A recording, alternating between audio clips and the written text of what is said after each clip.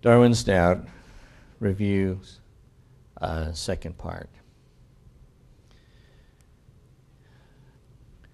You may remember last week we talked about how to review, uh, review a large scientific book.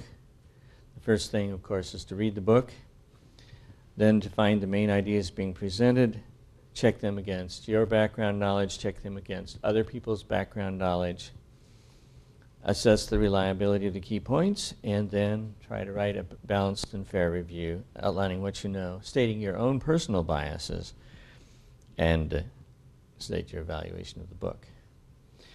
Uh, my quick summary of the book without critique uh, is the sudden appearance of multiple diverse life forms in the Cambrian was a major unsolved problem for Darwin and continues to be a problem.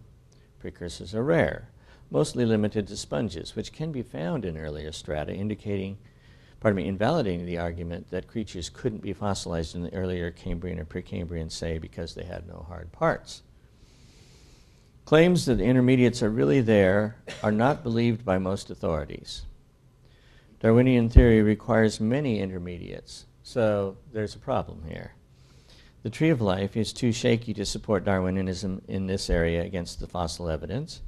We're going to see a direct challenge to that shortly. Unpunctuated equilibrium cannot explain the Cambrian explosion. New body plans require massive amounts of functional, not just Shannon information. The work of Yockey, Sauer, and Axe have made it much more difficult to explain the origin of information using Darwinian theory.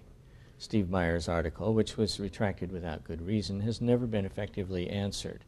The only attempt was on the internet and flawed. Population genetics is against more than minimal changes using Darwinian processes, and developmental gene regulatory networks and epigenetic information challenge Darwinism. Several modifications of or alternatives to Darwinian theory, such as self organization, Evo Devo, neutral evolution, neo Lamarckianism, and natural genetic engineering have their own weaknesses. Perhaps the most profound common weakness is the inability to explain the origin of specified complexity or information. Intelligent design explains information well, and using abductive reasoning, it is the best current explanation for the facts of the Cambrian explosion.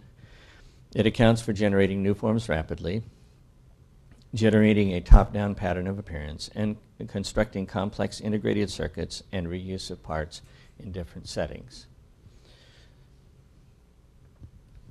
Intelligent design cannot be excluded from science by definition unless the definition is either ad hoc or it also excludes neo Darwinism. Intelligent design is based solidly on science, unlike creationism, but unlike Darwinism or theistic evolution, which are also not based solidly on science, it allows one to believe in ultimate purpose. This, while not evidence for intelligent design, makes the question important. That's a summary of the book. That's obviously not necessarily what I believe. Specifically, I would disagree with this, unlike creationism. Um, but uh, that gives you a good overview of what uh, Meyer is claiming to support in the hundreds of pages that he has written. Now, there have been three reviews. We covered Donald Prothero's review last week. Um, Nick Matzke is the Matzke is the person that uh, will be reviewed today. Uh, and there's the web address. And Charles Marshall will be next week, Lord willing. Nick Matzke starts out, he entitles it Meyer's Hopeless Monster Part 2. Part 1 was uh, Matzke's criti- critique of uh, Meyer's article in the uh, Biological Society of Washington. He um, starts out by apologizing for uh, various uh, errors that will be in the, in the piece that wouldn't be there otherwise. I'm extremely busy finishing grad school and moving to a postdoc. I guess he's, uh, when he was writing this, he was not, had not finished his PhD, so he had not completely narrowed his uh, focus so that he didn't have the broad scope, um, at least according to Donald Prothero. Um, so uh, he needed to put his two cents in, and it's a rough and ready piece, so he doesn't have references, he doesn't have a lot of things that you'd like to have, uh, although he thinks that it's easy to find them with Googling. And uh, it's interesting, so he's not commenting much. This is in a post that you can comment on, of course, but he expect com- expects commenters to be reasonable discussants and polite, and will ban people who break that spirit. So, interesting. And and he goes on to say this week a new book came out by Stephen Meyer, and that links to the Amazon webpage. Uh, having followed the ID movement for a long time, as well as being up on the recent literature, and especially in phylogenetics, he felt he had a pretty good sense of what to look for in any work. Um, and so he read through Meyer's book and he found case after case of misunderstanding, superficial treatment of key issues which are devastating to his thesis once understood, and complete or near complete omission of information that any non expert reader would need to have to make an accurate assessment of Meyer's ar- arguments. So he doesn't think very much of it at all. And uh, he kind of says that he was half expecting some kind of definitive, detailed, serious treatment of the issue. And Meyer has had four years since his last book and nine years since the uh, um, since his article in the Biological Society. He says, I was sorely disappointed. I'll hit a few of the main points. It would be nice if I had the time to write a comprehensive review, explain the issues from scratch in a phylogenetics 101 sort of way and provide detailed references. But given what my summer looks like, this is not likely. So I'll just outline what occurs to me as the most significant points and what would occur to anyone else actually trained in phylogenetic methods who also knows something about the Cambrian explosion. If the technical uh, terms and the like don't make sense, look up Wikipedia. It makes more sense than Meyer does. Um, there are 9,000 plus words. If I were to read at 100 words a minute, it would take me 90 minutes to read clear through it, so obviously we're not going to do that. The explosion took at least 30 million years and was not really instantaneous or particularly sudden. That's the first claim. Darwin's doubt is festooned with illustrations, mostly redrawn from other sources in a rather strange cartoon like format, also found in other recent ID books. Of course, that's to avoid copyright infringement issues. However, there is never an illustration like these. This one, where you will notice that there is a large increase in the number of, back there, uh, classes, and there's a large increase in the number of genera, but uh, topping off after the classes are done. Um, for some reason, the phyla aren't listed, but whatever. And to see, he says, look at the trace fossils are getting more broad. The Shelleys are getting more broad in the Tommotian. Well, if you add, depending on whose figures you're using, if you add the Tommotian and the Atdabanian together, you get 10 million years. What he wants to say is that it starts at the beginning of the Cambrian. Well, maybe it does, but it certainly doesn't uh, get full power. And here's another one that is drawn that he shows. And uh, it's interesting that most of the phyla start either in the Timonian or the Ad- uh, with the possible exception of Hemichordata. And in fact, I think Chordata is now in there.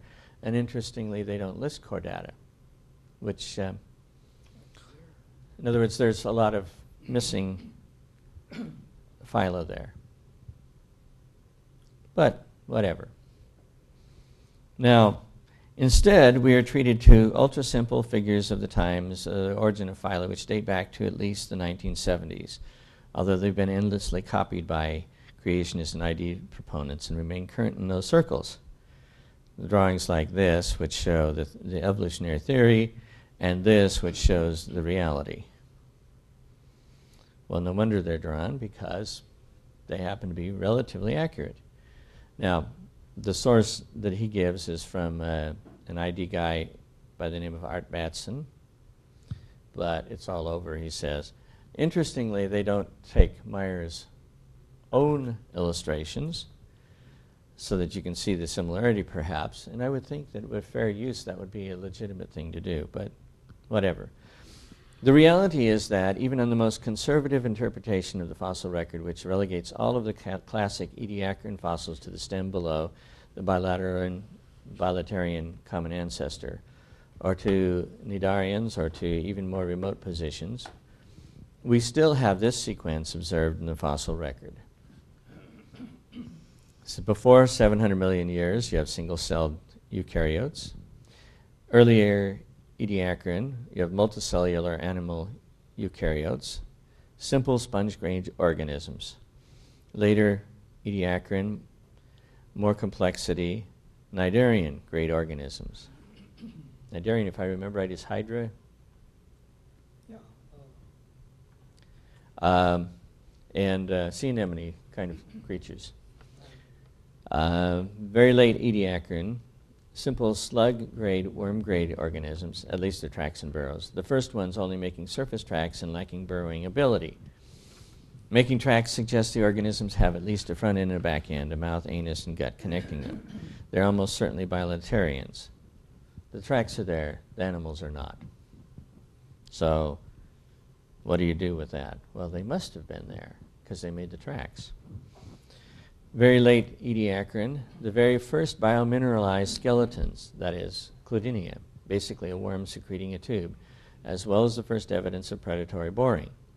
Cloudina gets no mention at all in Meyer's book, and I looked it up, and it doesn't. At the beginning of the Cambrian, we start to see more complex burrowing. For example, vertical burrowing through the sediment, clearly indicating worm-grade organization and an internal fluid skeleton, that is, a coelom. The burrowing gradu- gradually increases in complexity over 10 million years. Then um, in the Tommotian, uh, well, the, actually the uh, beginning at the beginning of the Cambrian, and then to the, expanding the Tommotian. Small shelly fauna. The shells, which started very small and very simple, gradually diversify and get more complex, radiating especially in the Tommotian. By the end of the Tommotian, some of the small shellies can be identified as parts of larger classic Cambrian animals. The Tommotian is an utterly key period for any serious discussion of the Cambrian explosion. Unfortunately, the word Tommotian, or any equivalent terminology, the detailed stratigraphy of the Cambrian is still being worked out, see Erwin and Valentine, 2013 for a review, does not even appear in the book. The small shelly fa- uh, fauna get just one, one mentioned in the book, buried in endnote 27 of chapter 4. A whole chapter devoted to debunking the idea that the Ediacaran fauna is ancestral to bilaterians. See discussion of the concept of ancestral below, which Meyer makes a complete hash of. However, I would tend to agree that the evidence is not good that classic Ediacarans are within the bilaterian crown, as much because of the late data of number four and six above as anything. So, chapter four, Meyer got right. Now, if you go to endnote 27 of chapter 4, you will not find a mention of the small shellies. However, if you go to chapter 4, note 39, you will find mention of the small shelleys. And if you go to chapter 2, note 5, you'll find a mention of the small shelleys. So there are actually two references, not just one. It's not in the book proper, but it is in the notes. The earliest identifiable representatives of Cambrian phyla don't occur until millions of years after the small shelly fauna have been diversifying. We're now to number eight. And they tend to be taxa on the stem below the crown of living phyla rather than placeable within the crown. Trilobites are an exception. But what is often missed is that deposits like the Chengjiang have dozens and dozens of trilobite like and arthropod like organisms that fall cladistically outside of these respective clades. They are transitional forms. How can this fact not be highlighted? If you're going what, we're going to explain it a little later, um, but afterwards you may still go what. In general, the earliest Cambrian relatives of the living phyla tend to be a lot more worm like or slug like than most modern representatives of the living phyla. Of course, many of the living phyla are basically still worms. And the more complex living phyla, for example, mollusks and chordates, have early diverging representatives or relatives that are rather more worm like than the better known representatives within more complex body plans. Even the earliest fish, actually, either stem group craniates, stem group cephalochordates, or stem group chordates, means primitive, if you want to put it that way, um, are basically filter feeding worms that happen to swim. They don't have jaws, scales, limbs, a bone skeleton, or anything else that most readers would associate with the word fish. Well, they do have a backbone, or a, because uh, that's what a chordate has to have. Um, uh, a cord. And they have somites. Yeah, there's somites. All of this is pretty good evidence for the basic idea that the Cambrian explosion is really the radiation of simple bilaterian worms into more complex worms. That's his view of the Cambrian. And that this took place, uh, took something like 30 million years just to get to the most primitive forms that are clearly related to one or another living crown phyla, and occurred in many stages instead of all at once. But the reader gets very little of the actual big picture from Meyer, or at least of uh, Matzke's big picture. Matzke. Meyer doesn't understand phylogenetics, nor modern phylogenetic taxonomy, nor the relationship to older taxonomy of the Cambrian phyla. And this is, gets very interesting. Stage one, Charles Walcott, tended to lump the fossils in with various modern phyla. For example, anything that looked vaguely like an arthropod, call it an arthropod shoehorn everything into, into pre-existing phyla. Stage two, 1970s and 1980s. In this period, we often see discussions of the Cambrian animals, which are dominated by a weird kind of misbegotten mutant offspring caused by the attempt to fuse Linnaean ranked uh, taxonomy with Hennigian thinking. Hennig is the father of modern cladistics. The epitome of the latter approach was Stephen Jay Gould's 1989 Wonderful Life. Crudely speaking, for Gould, if a fossil can't be placed in a modern phylum, call it a new phylum, a whole new body plan. Well, I don't know what else you do with uh, Hallucigenia, but um, so Stephen Jay Gould is now officially under the bus. Um, Another product of stage one and stage two type thinking is the whole confused idea that in evolution, first we should see species level divergence, then genus level divergence, then family, etc., all the way up to the phylum level divergence. Yes, it does seem that way, doesn't it? Uh, Meyer is clever in finding quotes from people like Dawkins endorsing this expectation. So Dawkins is now under the bus too. Um, Although all it shows is that they are products of being trained in stage one or stage two rather than rigorous phylogenetic thinking. So if you hear stuff from Gould and Dawkins, kind of ignore it because it doesn't really, you know, they're, they're kind of old fuddy-duddies. 1980s to the present, such methods are what show that many of the Cambrian animals do not fit within the living phyla, but rather they branch off the stems below the crown groups. So they kind of sort of fit underneath the phyla is the way I think he, he would try to put it, which are now coming together, and uh, that will make more sense when we get to the very last paragraph. All of the modern work on transitional fossils is based on cladistic methodology and its successors. Crown groups, now you have some definitions. Groups defined as the clade containing two or more currently living species their common ancestor and all of its descendants. For example, the species of humans and the species of platypuses. Everything in that clade is called a mammal. A bunch of species of morphological characters placed below the crown, that is, stem groups. The key thing about stem groups is that they have some, but not all, of the characters that make up the body plan of the crown clade under discussion. Um, but body plan actually is not clear. The body plan concept is basically just as arbitrary and flexible as the phylum concept. Some lineages get more complex while others get simpler, losing characteristics found in their ancestor, for example, snakes. For more on this, see my down with phyla. So he doesn't like phyla at all. The stem group taxa are the transitional forms that Meyer et al. are allegedly looking for. See you, the missing links? Well, they're right there. Uh, creationists, including Meyer, usually distract themselves by focusing on names and taxonomic ranks rather than distribution, the distribution of characters. That's the accusation. Meyer is very good at misdirection. For instance, he will criticize cladistic methods for not answering the question of how new genetic information for character state changes comes about, and he repeatedly sets up body plan evolution as if it's Evo Devo's job to explain how each phylum got its body plan from scratch. Or from another body plan. I think Meyer would be happy with that too. But really, these approaches answer different but complementary questions. Cladistics breaks up the body plan characters and shows the basic steps that evolved in, they evolved in, and also which parts of the body plan are actually shared with other phyla. EvoDevo can then work on each step, a much more manageable task, implying that if it tried to do everything from scratch, it would be unmanageable, which of course is the problem if the Cambrian actually doesn't have just stem groups but uh, pieces of crown groups.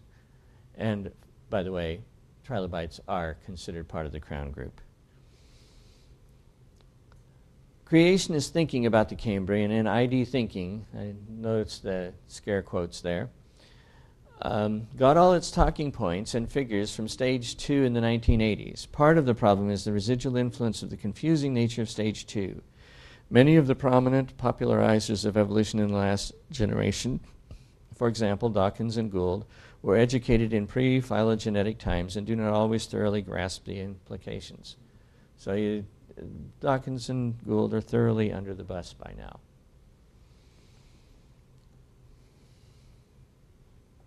Now, Meyer couldn't stumble around in the Cambrian phylogenetic literature without encountering a few of these issues. He does briefly discuss lumpers versus splitters, be careful about those quotes from him because they're not necessarily ver- verbatim. And even Linnaean taxonomy versus rank free taxonomy. But Meyer, Meyer never presents for his readers the point that cladistic analysis reveal the order in which the characters found in living groups were acquired, nor the fact that stem taxa and the transitional fossils the creationists are the transitional fossils the creationists are allegedly looking for. Why does Meyer never show his readers anything like this? And at this point, I will say I agree with uh, with uh, Matzke. If you look at this, this is a cladogram, and the difference between these two is a change either on this branch or on that branch or both. The difference between these two and this one is a change at number 26. And the difference between this one and that one is a change in 25 and so forth. So you can see the closer together you are branched, the more closely related you're supposed to be. Now notice that the outgroup that's being used is Marrella. Um, now here's another one. Or this. And see, this one is Brissi 2008, this one is Legg 2012. And um, so I thought it would be interesting to line these two up. And most of the time, they're different characters. For example, you'll find limulus here, you won't find it over here. Uh, you'll find uh, opabinia here, you will not find it on this side. But there are a number of ones which are near, uh, either nearly identical in the case of Marrella and Marrellomorpha, which I think are the same thing um, or that are identical, Branchiocaris, Branchiocaris. Now, it's interesting to look at this a little more carefully then, because here are two different trees. And of course, from an evolutionist point of view, you would expect them to come up with the same basic tree. Here is Yohoia, Burgessia, and Leanchoilia. Notice that Burgessia and Leanchoilia are most closely related, and that Lo- has about three characteristics that have to be gone through before you can get there, maybe four. Um, well, here's Yohoia and Leanchoilia, and they're separated a little ways. But now Burgessia, instead of being next to Leanchoilia, is down here. A little odd. Well, it gets more interesting. Here's Canadaspis, uh, Odaria, and Perspicaris. And presumably, the two closest related are Canadaspis and Odaria, with Perspicaris being kind of out a little bit on the side limb. Well, if you go over here, you'll notice that now Canadaspis and per- Perspicaria are next to each other, whereas Odaria is up here. But what's even more interesting is that in the middle of this, here's Branchiocaris, uh, which on this one is way down here, multiple characteristics separated from those. Whereas over here, the closest relative of these, although admittedly it's one, two, three, four, perhaps five changes away, is Martinssonia. Whereas Martinssonia is way down here and a long distance from those three. now, even more interesting, perhaps, Marrella here is right next to whatever outgroup they finally used, or perhaps is the outgroup. Here, uh, Marrellomorpha is found in the middle of all this other stuff, and the outgroups are way at the top.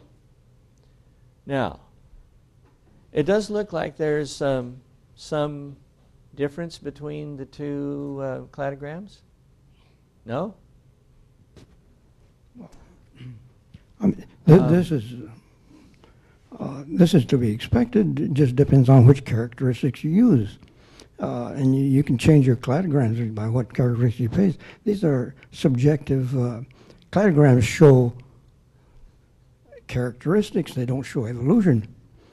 Well, uh, but here's and, the uh, problem with that theory is that according to evolution, there once was an actual ancestor that lived at this node right in here because you can't you can't transmit the characteristics unless you actually have ancestors. Well, yeah, but if you really want objectivity here, you need to compare all characteristics. You just don't select one or the other and get different cladograms. Well, but my point is that the cladograms don't match each other. Don't even. Well, of course, you would not expect them to if you just select certain characteristics for one, certain characteristics for another. But if there was an actual organism that had certain characteristics, you kind of like to see all of the cladograms starting to to uh, mesh together, wouldn't you?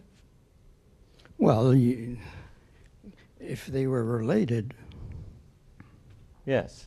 The, the one on the right is, is drawn upside down compared to the one on the left. That's true. Now, if you, if you put them the same, some of those features would be worse, some would be um, closer, but anyway, it, there's still a problem there.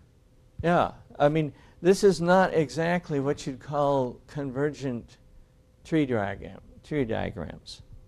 If people tell you that, you know, all of the diagrams match, well, not exactly. Now, these, of course, are cherry picked examples.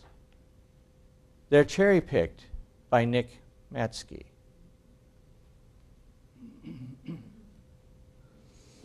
So, what is his argument about these cladograms? He never points out the differences here. He just throws them up and expects you to go, oh, cladograms. And your eyes glaze over and you say, oh, Matzke must be right. He can post cladograms on his uh, website.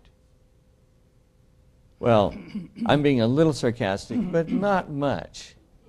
To not explain the two cladograms that you throw up, that they just don't match each other, and why not, and why you can still maintain that there were actual organisms that had the various characteristics just does not make sense to me unless unless you're just ready to say that that uh, uh, cladograms don't match evolution, in which case there's no support for evolution. Not getting phylogenetic thinking leads to all kinds of other problems. So I guess I don't get phylogenetic thinking, and we're just uh, we're going to have all kinds of problems. Meyer continually and blithely refers to organisms such as Anomalocaris as arthropods, as if this were an obvious and uncontroversial thing to say. Anomalocaris falls many branches and many character steps below the arthropod crown group. Well, there's Anom- uh, uh, Anomalocaris, and, and um, it's in Meyer. And let's read what Meyer actually had to say about it. Anomalocaris, literally abnormal shrimp, and Marrella, for example, both had hard exoskeletons and clearly represent either arthropods or creatures closely related to them. So he does recognize that there is possibly a problem here. Looks like Matzke didn't read Meyer very sympathetically. Meyer's treatment, mostly non treatment, of Lobopodia, which he treats as a distinct phylum. The arthropod and velvet worm phyla evolved from lobopods, and lobopods contain a whole series of transitional forms showing the basics of how this happened. Oh, lobopods. Let's look at those. Can we see exactly how lobopods were the transitional forms that led to um, arthropods? I'm not sure how you organize those kinds of things. This is from Meyer's book, of course. I'm not sure how you can say that uh, you go from lobopod 1 to 2 to 3 to, uh, to arthropods or anything like that. But Meyer does discuss briefly the crown group versus stem group issue, buried in endnote 5 of chapter 3. But Meyer's discussion gets the definition of crown group wrong, saying crown groups arise whenever new characteristics are, characters are added to more simpler, more ancestral stem groups. No, crown groups are retrospectively defined by humans living in the present. Does this make crown groups postmodern? I thought Meyer's definition wasn't that bad. The living phyla are just large crown groups. Yet another confusion that Meyer exhibits re- relates to the idea of ancestor. As with all creationists, Meyer exhibits no understanding of the fact that phylogenetic methods as they exist now can only rigorously detect sister group relationships, not direct ancestry. If you can't detect direct ancestry, what does that mean? And crucially, that this is neither a significant flaw nor any sort of challenge to common ancestry nor any sort of evidence against evolution. Maybe, but it certainly doesn't sound like it's evidence for evolution. We can say that birds descend from dinosaurs with essentially 100% statistical confidence without knowing which, if any, currently described fossils are exact direct ancestors rather than closely related sister groups.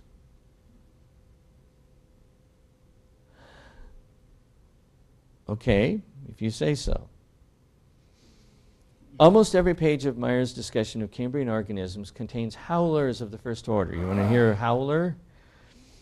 First, the great profusion of completely novel forms of life in the Burgess assemblage, feature three, demanded that even more transitional forms than had previously been thought missing. E- each new and exotic Cambrian creature, the Anomalocarids, Marrella, Opabinia, and the bizarre and appropriately named Hallucigenia, for which there were again no ob- obvious ancestral forms in the lower strata, required its own series of transitional, transitional ancestors. But where were they? That's a howler? I mean, I, I think that what he's saying is that Anomalocaris and Marrella, and maybe even Opabinia, are just simply uh, ancestors on the way to getting to be arthropods. But, and so maybe all you need is one ancestor for all three of them and then it branched off at a certain point. But Hallucigenia? You don't need ancestors to get there? And that poof, God did it is a better explanation. I'm putting that because obviously he's not quoting Meyer, but it sure sounds like it. So if you see quotes, beware. What goes into diagrams like this? They represent summaries of the morphological character data, which in this case you can see right here. Many, uh, this is the, the second cladogram for what it's worth that they, he reposted. Many readers and virtually all creationist ideas will have little idea of the scale of effort that goes into constructing a data set like this.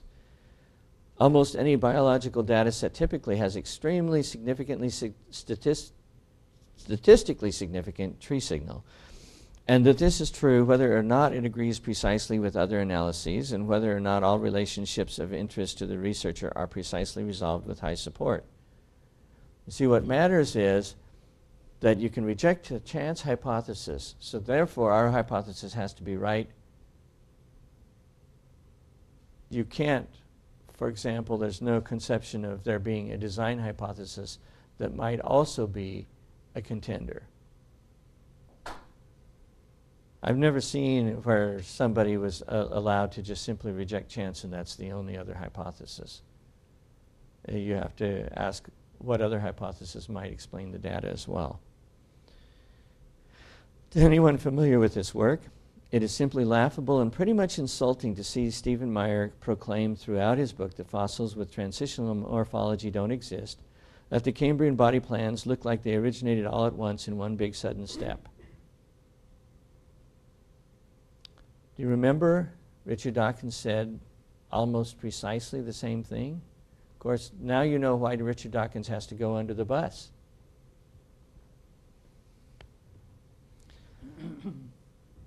Uh, they, being ideists, um, don't respect the hard work of all the scientists. Well, you respect the hard work, but you don't necessarily respect the conclusions that they come to. And most importantly, Meyer's statements don't respect the data. They don't follow the evidence wherever it leads, mostly because Meyer is ignoring most of the evidence. It seems to me that Matzke ignored a little bit of the evidence back there in, uh, in his two cladograms. Maybe the cladograms aren't as good as they are made out to be. It gets even worse when Meyer starts discussing phylogenetic conflict. Meyer's main Question. argument is basically that phylogenetic results sometimes conflict, therefore the whole thing is meaningless. Well, it may not be meaningless, but it may be it may not have the meaning that Matzke wants to put in. Yes. I'm listening to this and I'm watch, reading and watching it, and I'm kind of, I'm puzzling how, how we get to this kind of passing of ships in the night, so to speak, without either uh, seeing the other, so to speak. Uh, it's tra- it reminds me of when I took a course in mycology. Up to that point, I didn't see fungi everywhere. Then I took this course in mycology, and suddenly I saw fungi at every hike I went to. They were everywhere. So, what strikes me is that, you see, even presenting the evidence, people do not see the evidence for what it means because they do not see it from all points of view. They only view it from a particular point of view. Thus, they're amazed that somebody else can use that same evidence to argue a different point. Yes, and this is one of the reasons that I'm bringing this up, is because I don't want these ships to pass in the night. I want them to meet. Oh. We're But- going to but try there to has get to down be- to the fundamental points that are being disputed, if we can. But but what strikes me is that before the ships can actually meet, they have to want to. And and if the major objective is to shoot the other ship down, th- you're not going to have much of a meeting. Well, that is true. That is true. And perhaps that's one of the lessons of this is that uh, you're probably better off actually listening to your opponents than just simply uh, ignoring them.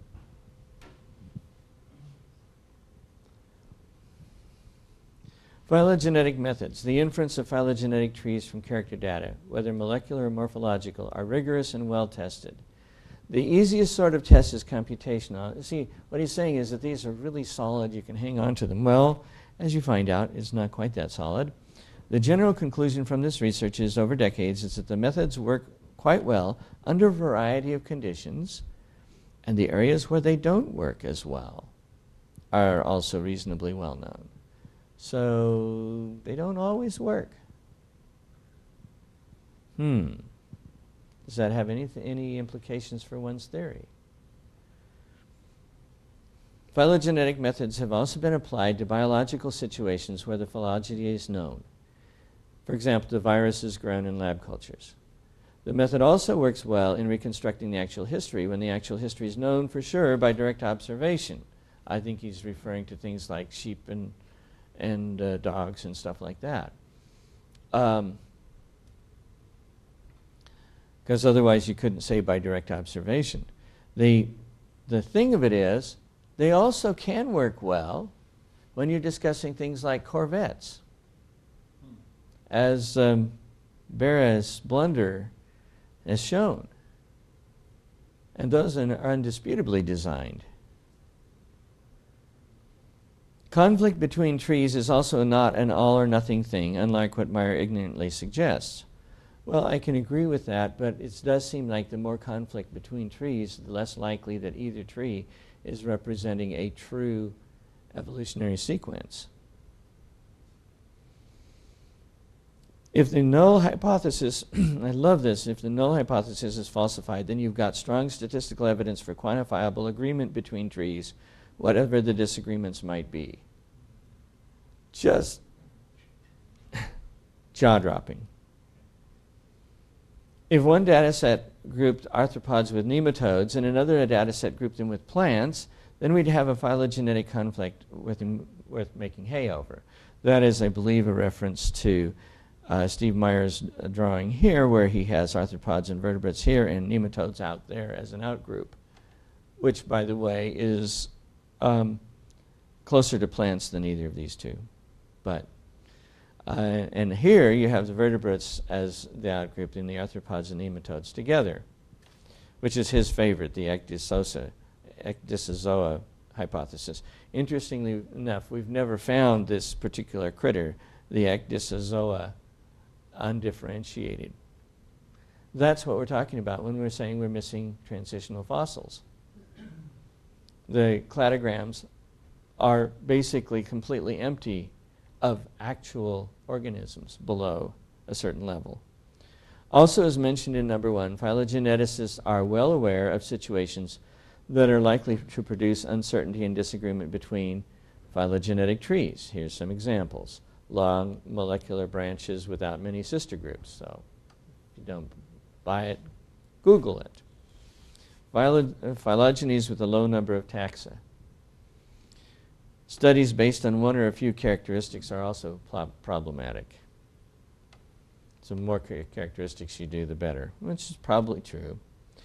With morphological data, the issue of clades versus grades is important to understand, as is the issue of plesiomorphy. For example, Meyer takes the paraphyly of the sponges as some sort of amazing counterexample to phylogenetic consistency. But sponges have always been at the base of the animal tree on anyone's analysis, and changing this from being one deep side branch to two deep side branches on the way to bilaterians is not actually an amazing change nor any huge contradiction of the morphological data. What I think he's saying is that the sponges are down at the bottom and there are two branches that go out from them. And paraphyly means that, that you should count as sponges everything, sponges and beyond, if you're being a good taxonomist. So apparently, sponges are at the root of something or other. Major superphylum groups like Lophotrochozoa uh, and Ecdysozoa are robust and here to stay. It'd be nice if we had some fossils of them.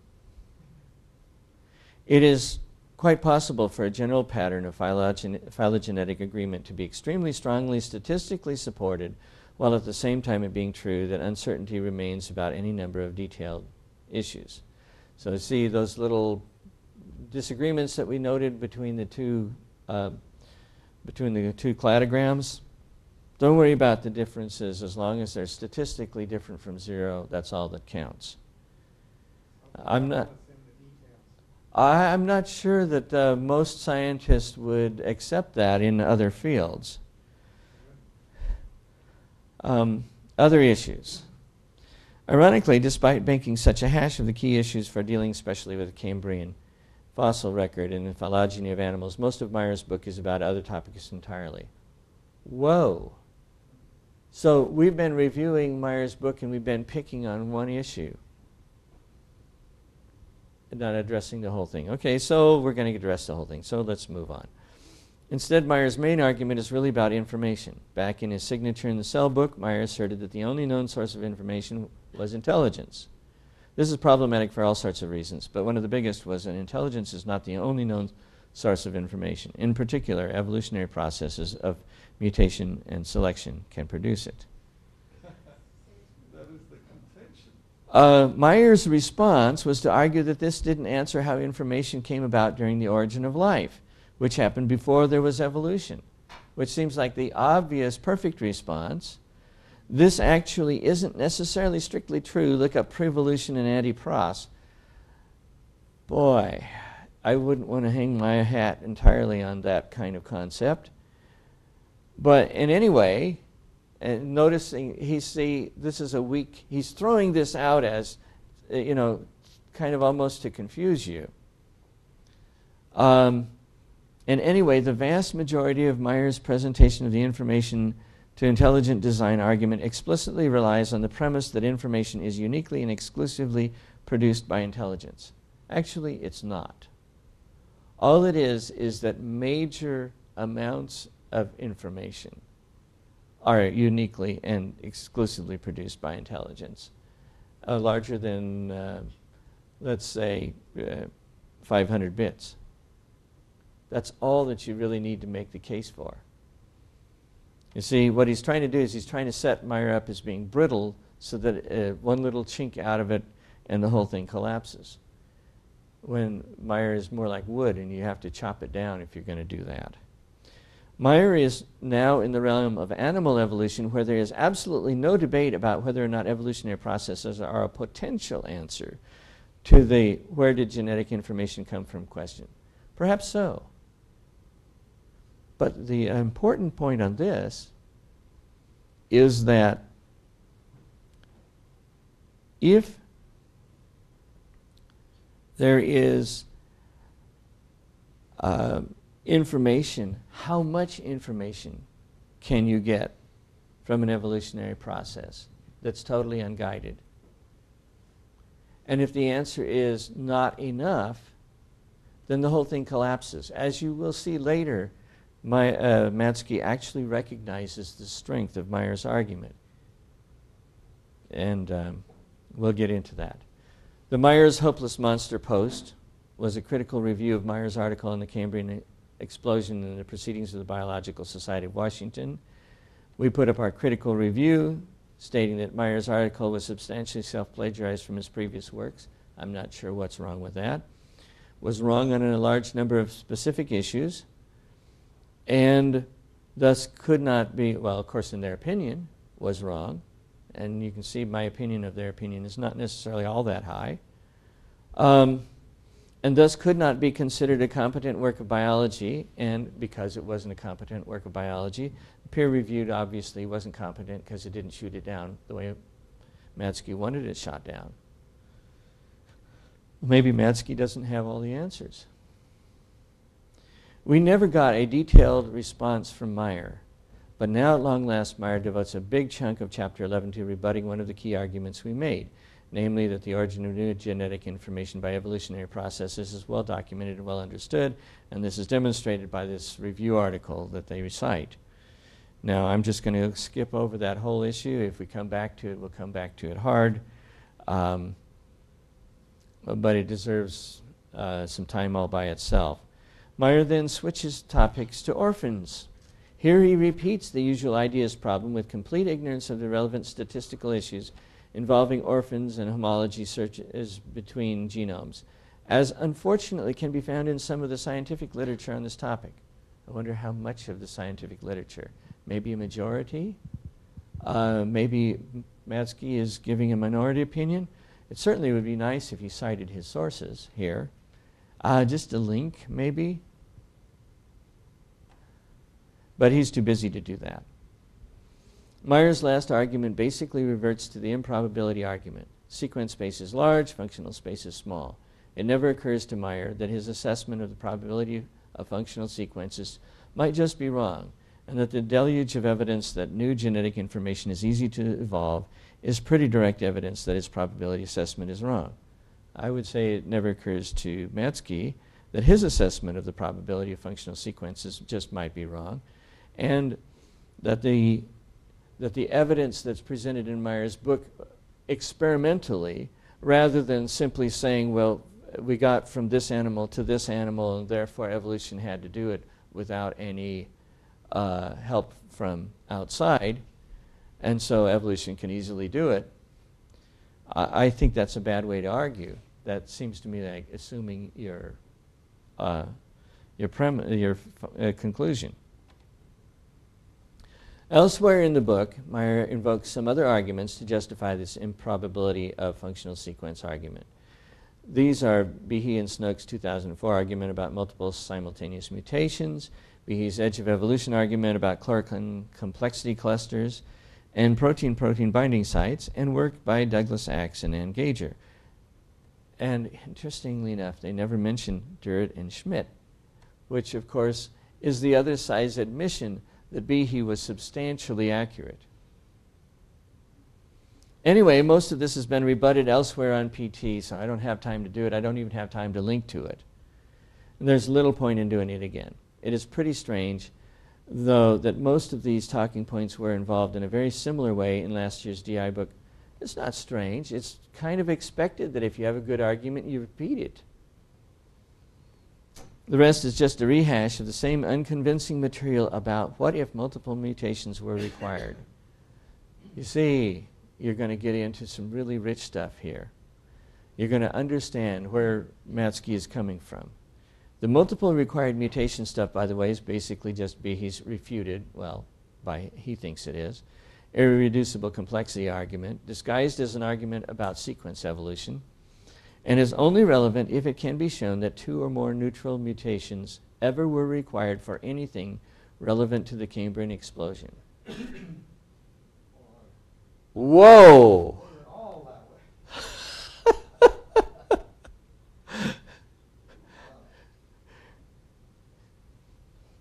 but as is typical in DI literature, this uh, Discovery Institute, uh, this is just blithely assumed rather than argued for. Okay. Showing it for any case would be non trivial, and every detailed study I've ever read about multiple mutation adaptations in, indicates that it doesn't usually apply. That instead, when what typically occurs to produce an alleged multiple mutations required adaptation is that a variety of single step mutations are selected as partial imperfect adaptations to some chemical or environmental stressor. I'd like to see that literature. I'd like to see a link to review of that literature. Whoa! Every detailed study I have read, I, how many of them are there? Isn't that what Behe said, that there is no detailed study?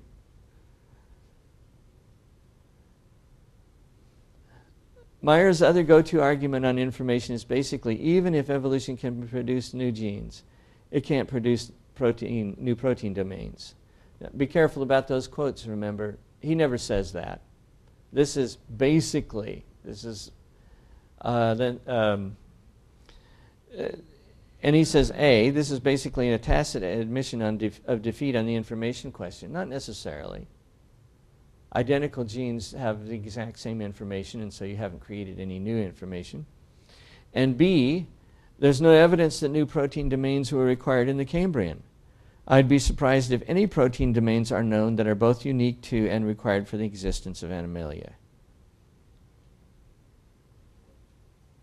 Talk about faith.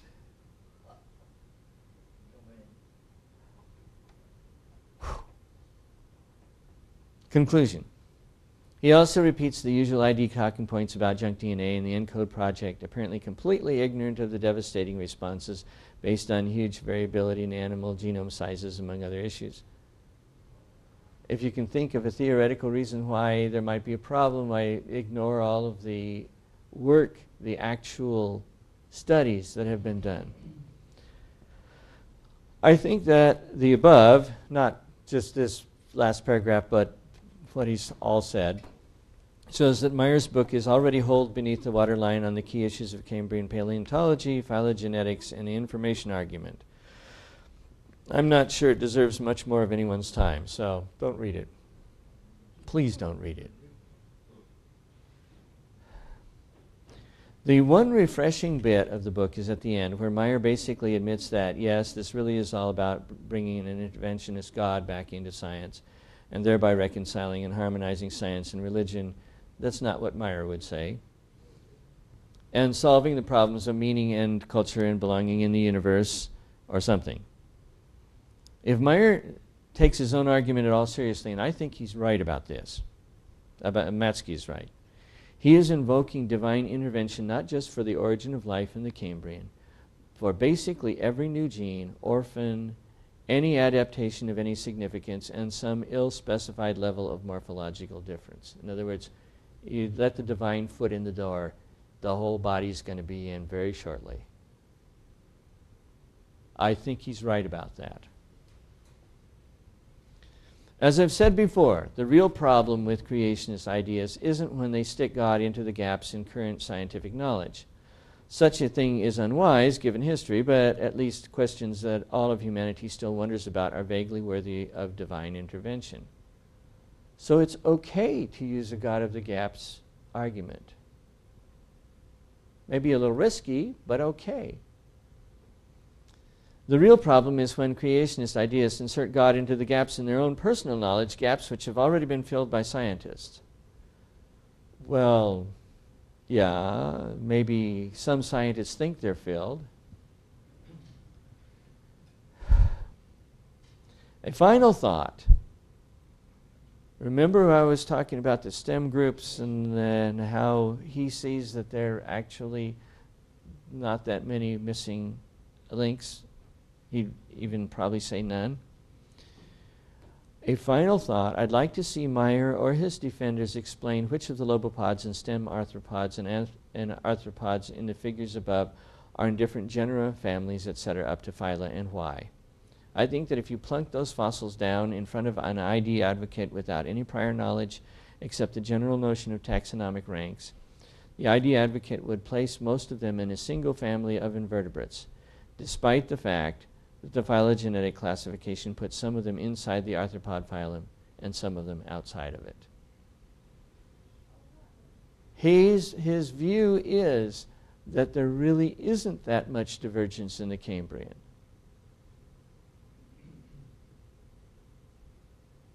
Think about that. Now, what he's saying makes kind of quasi sense. Now, personally, I have a hard time putting chordates and uh, trilobites and echinoderms all in the same place, and the starfish look pretty much like they do in modern, as I understand it. Uh, but as they say, your mileage may vary. Now, I'm going to raise Four questions. Does Matzke address the central points of Meyer's book? I think in a certain way he does.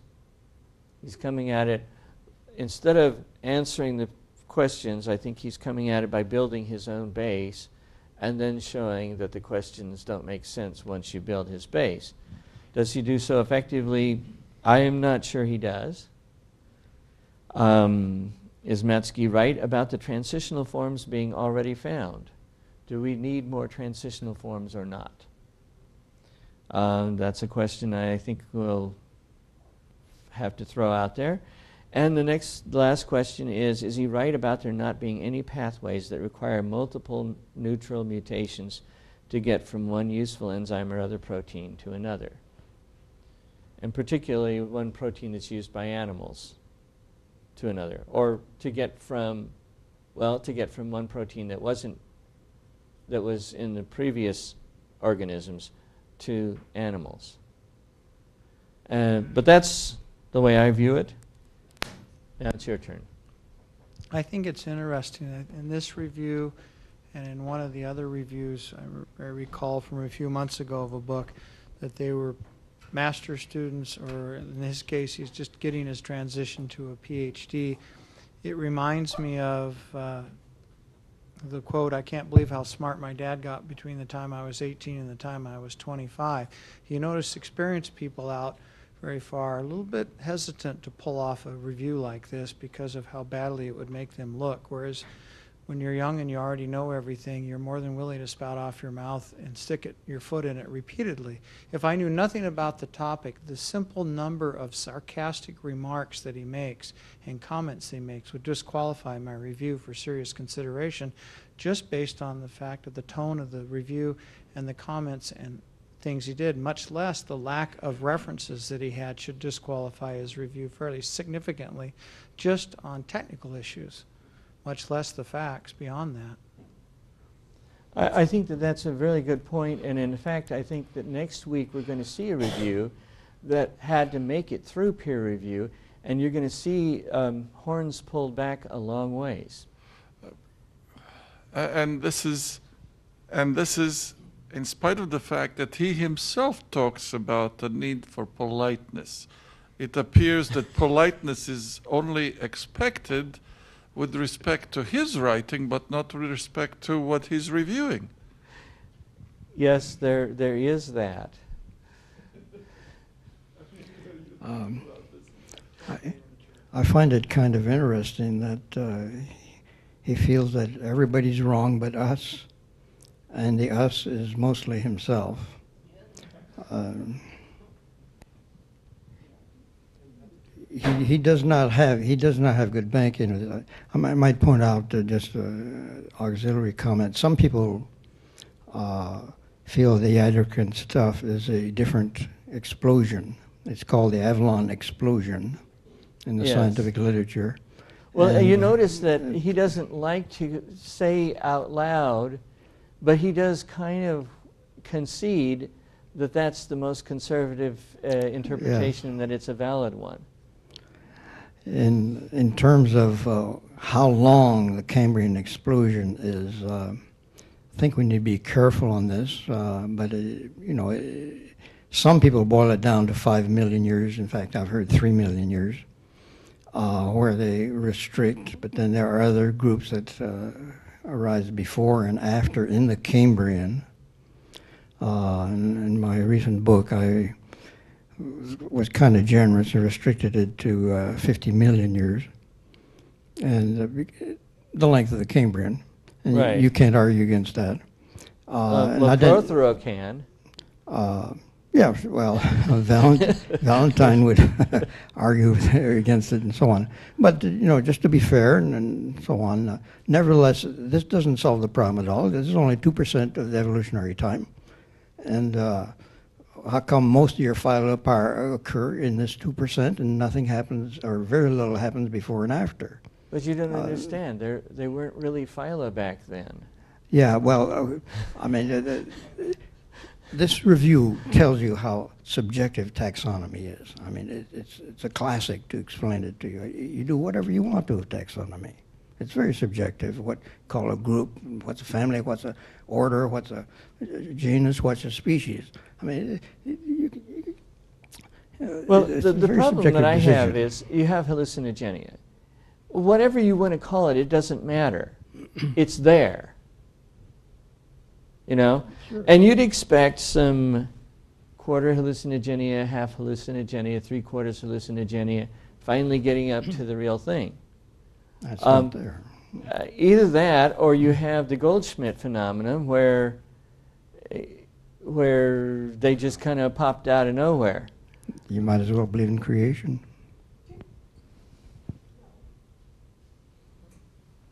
Yes? Could you remind me uh, of what the supposed refutation of Behe's uh, irreducible complexity argument is? Well, the answer that is given, Behe's, Behe's argument is very simple. Supposing you have something that has, to ha- has 50 parts or 30 parts, um, and let's supposing that you can take out five of them and nothing happens, okay? So uh, we'll, we'll start with 50 parts, and you take off another five and nothing happens. If you just modify them a little bit, you're okay. Uh, but now you take out, you get down to a core of 30 parts. And if you remove any one of those, it doesn't happen. Well, you can't evolve to those 30 parts because there's no function until you get 29 and a half or 29 and three quarters or whatever the, the last little bit that you have to do. So there's no, there's no evolutionary direction. They are what he's calling neutral mutations. And neutral mutations can go anywhere, and without guidance, they're not going to get where you need to go. And I think pretty much everybody recognizes that, including Matzke. Matzke says, but look, everything has, has a direction that it's being led in, and that there's no even double mutations. Well, Behe is saying, yes, there are double mutations. There are triple mutations. There are 100, there are 500, there are 1,000 mutations that you have to get to get where you're going. And it's a good argument. The only argument you can make against it is well, actually, if you get 15 mutations, that's useful for something else. 10 mutations, that's useful for something else. The problem is, what you have to do is you have to construct a pathway that gets you all the way from zero to one, two, three, four, five, six, all the way out to 30.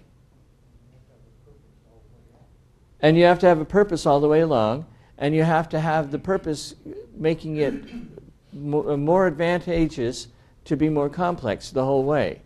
Now, Matzke knows this because he wrote an explanation of how the flagellum could have evolved.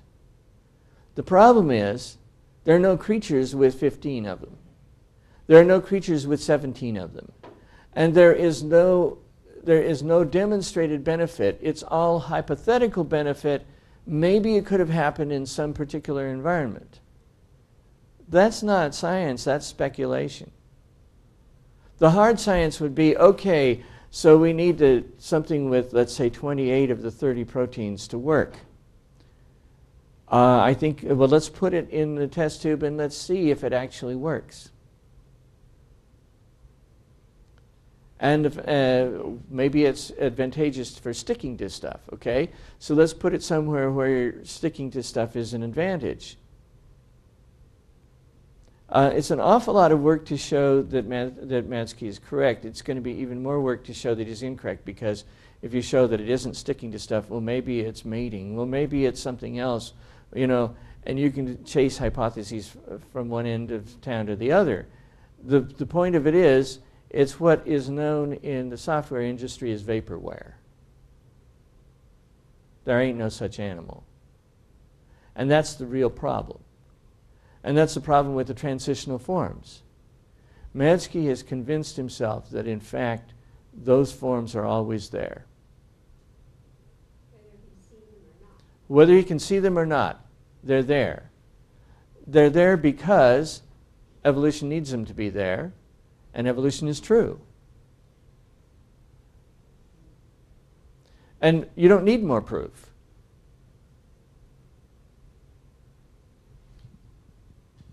In looking at his trees that he did, it- that was chordate trees? What was that? The, Uh, I think those were mostly um, uh, arthropods, because if you looked at the bottom of Okay, one what of them, it what had was- insects. It had a hexapoda, for example. but if you, if you make the argument legitimate that, well, they're looking at different characteristics. Are you saying then that when they, they lost the characteristics, that, you know, if you're going to say, well, that we just didn't look at the characteristics in this tree when we looked at this tree, but even if you say that, they had to have an ancestor, and that ancestor had to lose some of those characteristics, so they would have been picked up in the next one to a degree. So they can't conflict that much, even if you're looking at different characteristics. They shouldn't be widely variant because some of those characteristics are going to, they shouldn't lose them going down that line. Right? The, the Yeah, common I- ancestor should, should carry through them both lines of looking at it. And so they should start to look more and more. In fact, the more characteristics you pull out, they should start to become one tree. In fact, there's a paper in the peer-reviewed literature, so it must be correct, that argues that um, that argues that walking sticks lost the ability to fly and then regained it 42 times. If you follow the cladograms, that's what you have to do.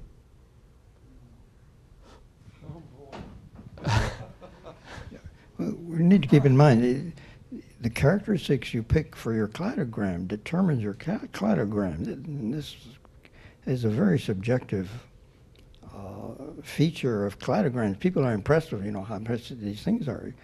You can make cladograms of anything, uh, whether it's... Including designed objects. Well, sure, like women's hats or refrigerators or cars or whatever you want. I mean, you can make cladograms, and they look very impressive, but they don't evolve from each other.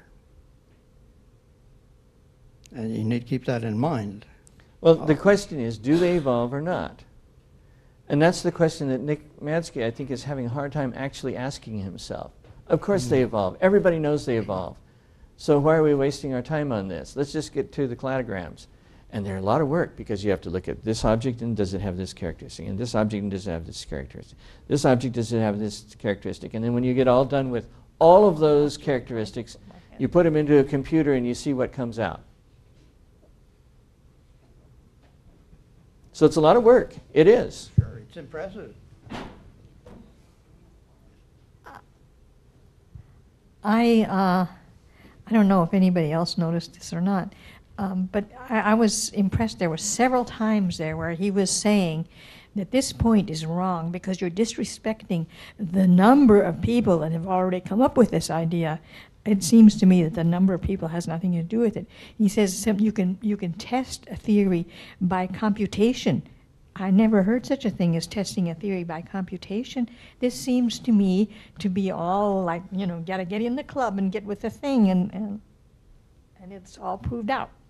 Um, I think that that's a valid criticism. I, to me, uh, testing it by computation is a.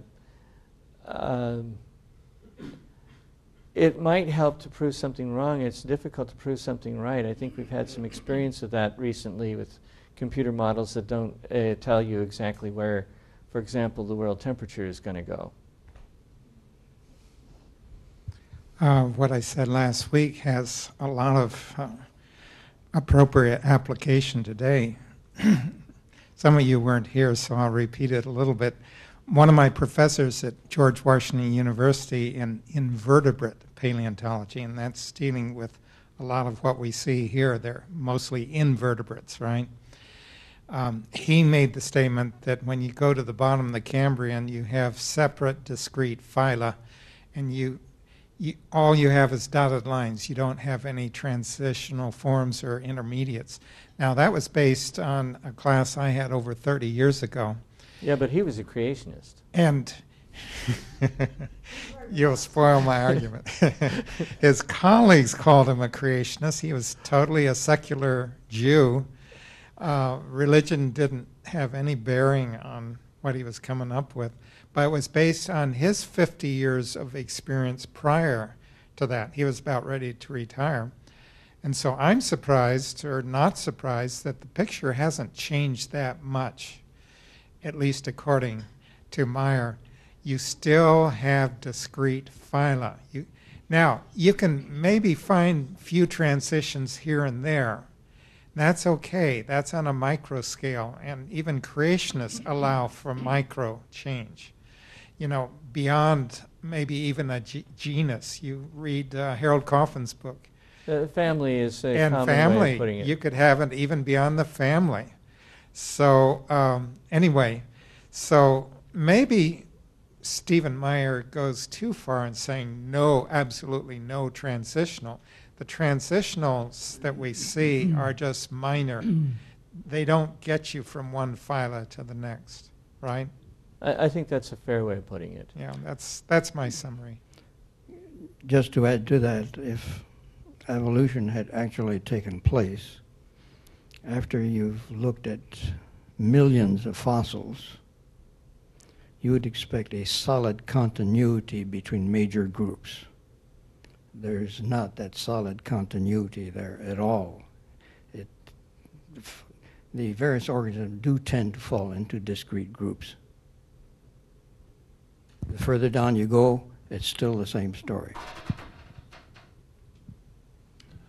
Um, at the risk of throwing more fuel on the fire, uh, uh, when when I was looking at the um fossils in on our trip to to the shale um, up on the mountain, you remember? W- were you there? You- Did you go? Yeah, Burgess, Burgess Shale. Shale, Yes. Yeah. Uh, yes. It struck me as I was looking at those um, fossils. How would we know if those fossils actually represented the larval forms of some organism? Without We- we seeing the would critters, have- you wouldn't. If you have never seen the different stages in the life cycle of an organism, you have no way of connecting them. So you could have apparently very different looking organisms who are actually the same organism just at a different point in its life cycle. Well, you know, the caterpillar is, to use his phrase, a, a, a complicated worm. But yes, but do you see the point I'm trying to make? I mean, when you're looking at mere fossils of something, you have, and then you're de- developing these cladograms on their particular appearance in that fossil. You you're basically only making a single snapshot of one time point, and you have no idea of what that organism really was and what it did. Oh, you're right. What would be fascinating is to do a cladogram of caterpillars and a cladogram of butterflies Ah, and see if they matched. it, it would be most interesting. Uh, I mean, this would be an interesting exercise, but I don't know of anybody who'd ever attempt such a thing. If you pick the right characteristics, you'll get it to match. If you pick some other characteristics, you'll get it to be very different. It just depends on which characteristics you pick for a Well, what that means is the cladogram has nothing to do with uh, actual trees. That's the point I'm trying to say. Cladograms do not mean evolution. They mean analysis of characteristics, highly sophisticated analysis of characteristics. It's very impressive uh, statistics involved in it and so on. But know what it's doing. It's according to what characteristics you select. yeah. And uh, uh, really, if you really want to test it out, you should use all characteristics you can possibly think of. Uh, then you might have some significance. But as long as you keep ch- cherry picking what correct characteristics you use, uh, cladograms can be very subjective. I come from the outside. I am amazed at the things these people invent so they can get rid of God because God says we have to obey Him. Well, I, I have to agree with you. I, uh, and, and I think that it's very interesting that he's just desperately wanting to blame all of Meyer's opinions on the fact that he needs God. When it's probably fairer to say that Meyer can allow God as a hypothesis, and once you do that, it just jumps out at you.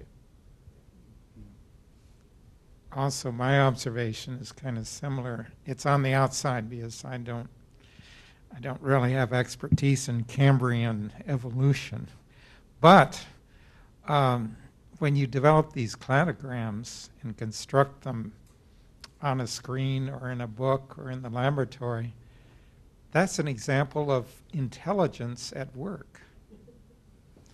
And so you have intelligent design of cladograms. But then you turn around and de- deny that there can be any intelligence out there and it just happened by chance. That, to me, that's the, the greatest discrepancy possible. I think Right? on that note, we will end. Um, if you come back next week, we'll see an actual peer-reviewed review, uh, and uh, it will be um, interesting to contrast the two styles of review, peer-reviewed and not peer-reviewed this week and last week, being not peer-reviewed.